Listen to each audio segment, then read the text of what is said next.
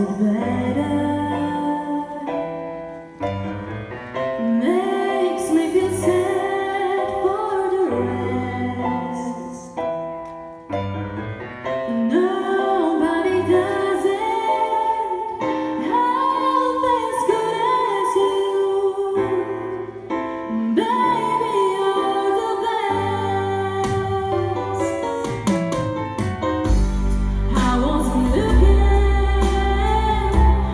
outside.